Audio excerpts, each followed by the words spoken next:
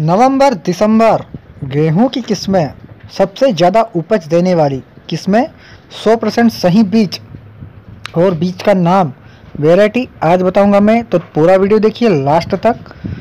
आइए हम इस वीडियो में सीखें गेहूँ की किस्मों के बारे में, जो टॉप वैरायटीज़ हैं।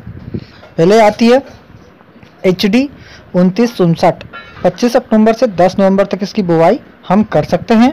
140 से 150 दिन में यह पककर तैयार हो जाती है। पंजाब, गुजरात, हरियाणा, उत्तर प्रदेश, मध्य प्रदेश में बोया जा सकता है। साठ से सत्तर क्विंटल प्रति हेक्टेयर इसको उपज प्राप्त होती है।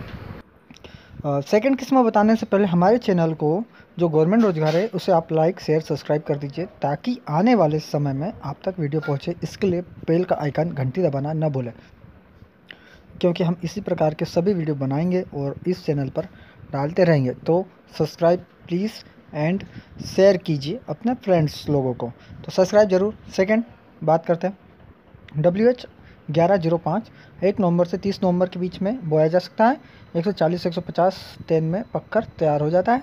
पंजाब गुज, पंजाब गुजरात हरियाणा उत्तर प्रदेश मध्य प्रदेश में बोया जा सकता है। साठ से सत्तर क्विंटल पर हेक्टेयर में यह इसकी उपज हमें प्राप्त हो जाती है।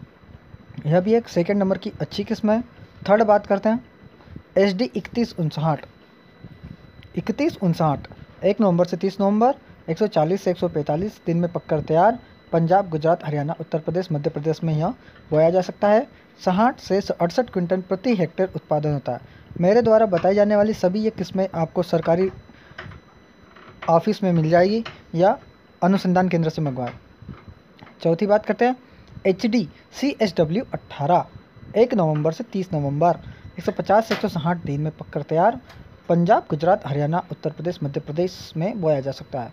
साठ से पैंसठ क्विंटल प्रति हेक्टेयर उपज इसकी आसानी से प्राप्त हो जाती है। यह अधिकतम उड़िया, उड़ीसा, गुजरात और हरियाणा, उत्तर प्रदेश में अधिकतम मात्रा में बोया जाता है।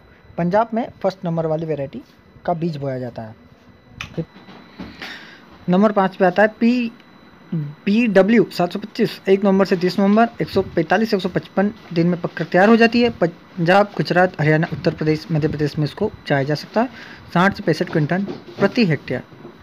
इसकी आसानी से उपज प्राप्त हो जाती है। तो यह पंजाब में अधिकतम बोया जाता है और इसका उत्पादन भरपूर मात्रा में लिया जा सकता है, क्योंकि बहुत जल्दी पकती है। बात करते हैं डी बी डब्ल्यू अट्ठासी। एक नवंबर से तीस नवंबर के बीच में लगाया जा सकता है। एक सौ पैंतीस से एक सौ चालीस दिन में उपज प्राप्त होती है। पंजाब, गुजरात, हरियाणा, उत्तर प्रदेश, मध्य प्रदेश में ही बोया जा सकता है। पचपन से साठ क्विंटल प्रति हेक्टेयर उसकी उपज आसानी से प्राप्त की जा सकती है। डी बी एस डब्ल्यू अट्ठासी, लेकिन यह कम मात्रा में बोया जाता है। बात करते हैं पी बी डब्ल्यू पाँच सौ दो। पंजाब के नाम से प्रसिद्ध है पी बी डब्ल्यू पाँच सौ दो। एक नवंबर से तीस नवंबर पर बोया जाता है। सौ पैंतीस एक सौ चालीस दिन में पककर तैयार हो जाती है। पंजाब, गुजरात, हरियाणा, उत्तर प्रदेश, मध्य प्रदेश में और पंजाब में सबसे अधिक मात्रा में इसे बोया जाता है। पचपन से अट्ठावन क्विंटल प्रति हेक्टेयर इसकी उपज प्राप्त हो जाती है। हल्की भूमि के लिए उपयुक्त है बोना तो आप हल्की भूमि अगर आपके पास है तो इसे आप बो सकते हो। इसके बाद लास्ट वेराइटी की बात कर लेते हैं, जो कि है एच डी तीस छियासी। यह भी एक अच्छी उत्तम किस्म की वेराइटी है गेहूँ की। तो 10 नवंबर से 10 दिसंबर तक इसको बोया जा सकता है। ये लेट लतीफ वाली वेराइटी कहलाती है। लेट 10 दिसंबर तक भी आप बो सकते हो। एक सौ पैंतीस, एक सौ चालीस दिन में वो पक्का तैयार। पंजाब, गुजरात, हरियाणा, उत्तर प्रदेश, मध्य प्रदेश में बोया जा सकता है। पचपन से साठ क्विंटल प्रति हेक्टेयर तो दोस्तों, आगे भी हम इस प्रकार से लाएँगे। चैनल को सब्सक्राइब ज़रूर कर दें।